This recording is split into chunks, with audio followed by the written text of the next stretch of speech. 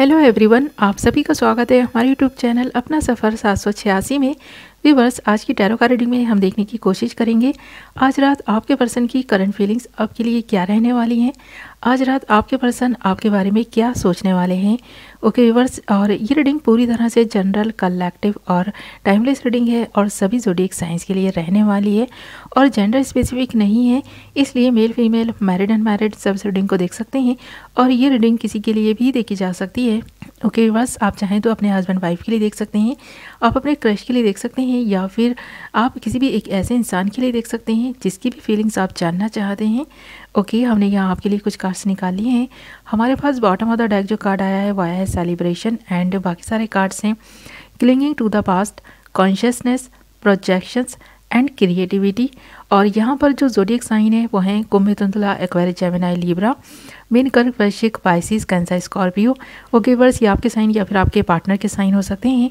और यहाँ पर अगर हम सबसे पहले बात करें आपके पर्सन की फीलिंग्स की, कि आज रात क्या रहने वाली हैं, किस एनर्जी में रहने वाले हैं ये पर्सन तो यहाँ पर एक ऐसे पर्सन की एनर्जीज नज़र आ रही हैं जो इंसान चाह कर भी अपने पास्ट को भुला नहीं पा रहा है। पास्ट में की गई गलतियों को सुधारना इस पर्सन को बहुत मुश्किल लग रहा है। इस पर्सन को ऐसा लग रहा है कि इस पर्सन ने बहुत सारी ऐसी गलतियाँ की हैं, बहुत सारे ऐसे रिलेशन बनाए हैं। जिनके बारे में ये पर्सन अब सोचते हैं ना तो इस पर्सन को ऐसा लगता है, ये सबसे बड़ी गलती थी इस पर्सन की। तो एक के बाद एक इस पर्सन ने बहुत सारी गलतियाँ की हैं अपने पास्ट में, और जिनके बारे में आज भी ये पर्सन सोचता है ना तो इस पर्सन को ऐसा लगता है कि किस किस गलती को ये पर्सन सुधारेंगे। और इस पर्सन को ऐसा लगता है कि पास्ट से मूव ऑन करके लाइफ में आगे बढ़ना भी इस पर्सन के लिए बहुत ज़्यादा मुश्किल है, क्योंकि कहीं ना कहीं ये पर्सन ना अपने पास्ट में अटक कर रह गया है। और ये पर्सन एक ऐसी ज़िंदगी जी रहा है, जहाँ पर इस पर्सन की लाइफ में ना, सब इस पर्सन को काफ़ी हैप्पी और खुश नज़र आ रहे हैं। इस पर्सन को ऐसा लगता है कि अगर दुखी है तो ये पर्सन ही है। तो ये पर्सन चाह कर भी ना अपने पास्ट को क्लीन नहीं कर पा रहा। और ये जो पास्ट की छाया इस पर्सन के साथ साथ चल रही है उसको ये पर्सन ना इग्नोर भी नहीं कर पा रहे हैं और बहुत सारी ऐसी चीज़ें हैं जो इस पर्सन को इसके पास की याद दिला देते हैं। तो ये पर्सन जिस इंसान से मिलता है, जिस इंसान के साथ में भी इस पर्सन की दोस्ती बढ़ती जाती है ना, और जो इंसान इस पर्सन के पास के बारे में जानता है, वो इंसान फिर ना धीरे धीरे इस पर्सन से दूरियाँ बढ़ा लेता है और ये पर्सन फिर तनहा और अकेले रह जाते हैं। तो इस पर्सन को ऐसा लगता है कि आज के टाइम में ना कोई भी एक ऐसा पर्सन इस पर्सन की लाइफ में नहीं है, जो इस पर्सन के दुख को, दर्द को बांट सके। ये इस पर्सन की लाइफ में ना कम से कम कोई खुशी ही ला सके। तो इस पर्सन की ज़िंदगी में एक ऐसे इंसान की कमी है जो इंसान इस पर्सन के दुख को समझ सके और इस पर्सन की ज़िंदगी में कुछ खुशी ला सके तो यहाँ पर जब आप इस पर्सन से मिले हैं ना तो ये पर्सन इतना ही टूटा हुआ और ऐसे ही काफ़ी गमज़दा इंसान थे। तो आपने इस पर्सन की नेगेटिविटी को ना निकालने में काफ़ी इस पर्सन की हेल्प की है। आप जब इस पर्सन से मिले थे ना तो आपसे भी इस पर्सन को कोई उम्मीद नहीं थी। इस पर्सन ने आपसे भी कोई उम्मीद ज़्यादा नहीं लगाई थी। पर हाँ धीरे धीरे ये पर्सन जब आपको जानते गए ना तो इस पर्सन को ऐसा लगा कि आप इस पर्सन की परछाइयाँ यानी कि आपका जो दर्द है ना, ये पर्सन महसूस कर पाए थे और आप इस पर्सन का दुख जान पाए थे, समझ सके थे। तो आप दोनों को एक दूसरे से मिलकर ऐसा लगा था कि आप दोनों एक जैसे हैं। तो काफ़ी अच्छा आपका रिलेशन बन गया था एक दूसरे के साथ में। आप दोनों अच्छा वक्त गुजार रहे थे। आप दोनों को वक्त का पता ही नहीं चलता। जब आप दोनों साथ में होते थे तो आपको अपने पर्सन से मिलकर ऐसा लगता था कि आप दोनों ही एक दूसरे के लिए बने हैं तो आप दोनों एक दूसरे में ख़ुद को देख पा रहे थे। पर यहाँ पर ना, ये जो रिश्ता था, आपका ज़्यादा टाइम तक चला नहीं है। ऐसा भी लग रहा है तो यहाँ पर आपका पर्सन आपसे मूव ऑन कर गया है हो सकता है इस पर्सन को ऐसा फील होने लगा था कि शायद ये अपनी नेगेटिविटी आपको देने लग गए हैं। आप भी कहीं इस पर्सन के जैसे ना बन जाएँ। तो धीरे धीरे इस पर्सन ने आपसे दूरियाँ बढ़ानी स्टार्ट की थी, क्योंकि ये पर्सन आज ज़्यादा टाइम तक ना आपके साथ भी इस रिश्ते को नहीं निभा सकेंगे। ऐसा इस पर्सन को कहीं ना कहीं फील होने लगा था और इस पर्सन को ऐसा लगा था कि आप भी इस पर्सन के जैसे हैं। अगर दो लोग एक जैसे मिल जाएँगे तो ये जो दुख आप दोनों की ज़िंदगी में बना हुआ है, ये हमेशा ही बना रहेगा। क्योंकि आप दोनों ही दुखी थे, आप दोनों ही काफ़ी परेशान थे और ये परेशानियाँ आप दोनों के एक दूसरे के करीब ले आई थी। आप अपना दुख सुख तो बांट रहे थे, पर ना कहीं ना कहीं ऐसा एक खालीपन भी महसूस कर रहे थे, क्योंकि आप लोगों ने जो सोचा था ना, वैसा पार्टनर आप लोगों को नहीं मिल सका। इसका गम भी आप दोनों के दिलों में था। तो आप अच्छे दोस्त तो बन गए, पर एक दूसरे के साथ में आप दोनों का जो ये बॉन्ड था ना, ज़्यादा टाइम तक नहीं चल सका। यहाँ पर ऐसा भी लग रहा है कि आपके पर्सन को ना, आपके साथ में जो स्पिरिचुअल कनेक्शन फील हो रहा था ना, उससे भी ये पर्सन भागने लगा था। तो इस पर्सन को ऐसा महसूस होने लगा था कि आप इस पर्सन के ना इतना ज़्यादा करीब आते जा रहे हैं कि ये पर्सन ना अगर कभी आपसे दूर जाना चाहे या फिर ये पर्सन अपनी ज़िंदगी को अपने तरीके से जीने की कभी ख्वाहिश करे तो कर नहीं पाएगा। ये बंधन में बंद कर नहीं रहना चाहते थे।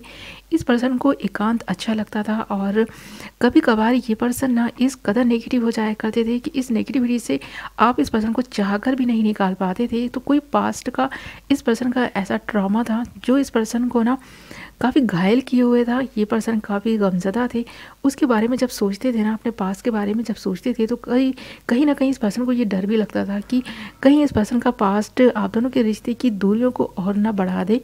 तो ये पर्सन पूरी तरह से इस रिश्ते को ख़त्म करके चले गए थे। ऐसा लग रहा है यहाँ पर।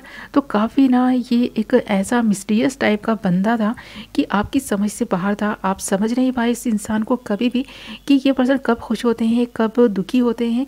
आपने तो अपना दुख इस पर्सन को बताया था, जो भी गम आपकी ज़िंदगी में था। पर इस पर्सन ने कभी भी आपसे ना खुलकर अपने पास के बारे में बात नहीं की थी।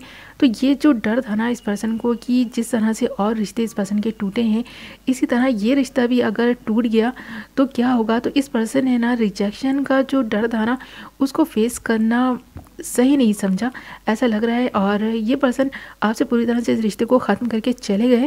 और आप ना आज भी इस चीज़ को नहीं समझ पाए हैं कि आपके पर्सन ने ऐसा क्यों किया? क्यों ये पर्सन बिना बताए आपकी ज़िंदगी से ऐसे चले गए कि जैसे कि आपकी ज़िंदगी में ये पर्सन कभी आए ही नहीं थे? आपको ऐसा लगता है कि शायद ये पर्सन अपनी लाइफ में खुश हैं? ये पर्सन अपनी लाइफ को इंजॉय कर रहे हैं, खुलकर जी रहे हैं? तो हो सकता है आप दोनों इस वक्त ना एक दूसरे से बिल्कुल भी बात नहीं कर रहे हो और आपको ऐसा ही लग रहा है कि ये पर्सन खुलकर अपनी ज़िंदगी जी रहा है। तो ऐसा नहीं है। यहाँ पर ये पर्सन ना काफ़ी दुखी और परेशान है। अगर इस पर्सन ने आपसे रिश्ता तोड़ा है ना तो इसलिए नहीं तोड़ा कि आप में कुछ कमी थी, या आप इस पर्सन को समझ नहीं पा रहे थे। आप इसको अच्छे से समझ भी रहे थे, फिर भी ये पर्सन ना अपने ही गम में इस कदर खोए हुए थे कि ये पर्सन ना आपके साथ को ज़्यादा टाइम तक ना बनाए नहीं रख सके और जल्दबाजी का एक डिसीज़न कह सकते हैं इसे कि ये पर्सन जल्दबाजी में आकर के आपसे पूरा ताल्लुक़ ख़त्म करके चला गया। ये पर्सन अगर आपको समझाते, अपनी सिचुएशन अपनी फीलिंग्स बताते तो आप इस पर्सन की फीलिंग्स को अच्छे से समझ पाते। पर ये पर्सन तो इससे पहले ही मूव ऑन करके चले गए हैं। आज भी आप इस बारे में सोचते हैं और ये पर्सन भी इन सारी चीज़ों के बारे में सोचते हैं। ऐसा नहीं है कि इस पर्सन को आपकी याद नहीं आती।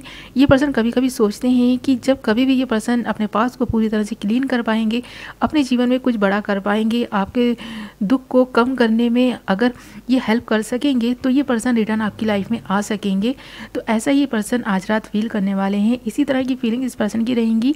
इस पर्सन को इस चीज़ का एहसास तो है कि इस पर्सन ने आपका दिल तोड़ा है, आपका दिल दुखाया है।